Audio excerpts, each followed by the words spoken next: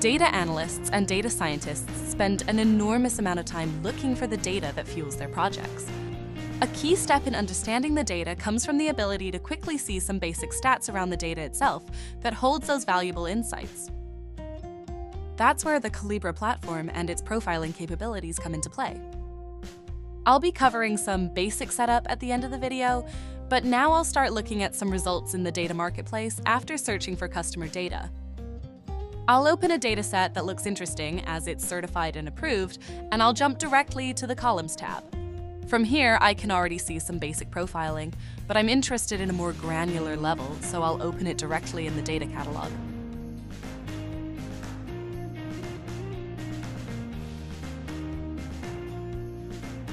Right from this view, basic information of each column is displayed.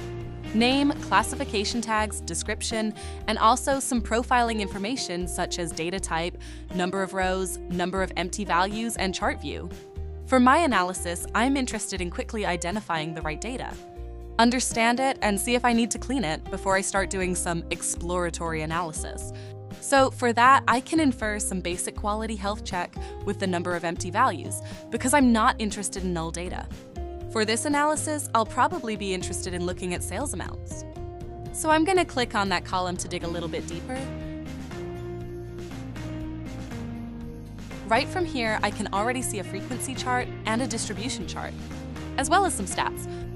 To have a more detailed view, zoom in on the chart a little bit and even see some sample data, As a side note, our Edge component will anonymize automatically all the columns with the data type text or geo for privacy reasons. Now, the stats displayed in this section will give me a bit more information regarding the data type, the column position, if it can contain null values, etc. You can check a list of all the basic stats displayed in the product documentation page. As we saw previously, I can quickly infer some basic data quality and identify whether or not this data is suitable for me or not. So I'll scroll down and see basic stats such as mean, minimum, and maximum values, as well as row counts, empty values, and uniques. With this, I know that this data is complete.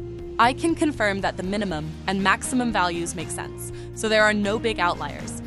And finally, that the most common value is $4.99. So our best-selling products fall into that price point.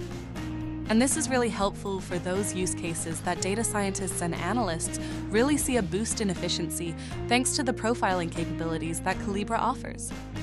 With that, I can continue looking at the other columns or tables and request access immediately. As a last point, in order to set up profiling properly, you will need an Edge site with the right profiling capability installed, a registered database, and configure the profiling and classification according to your needs.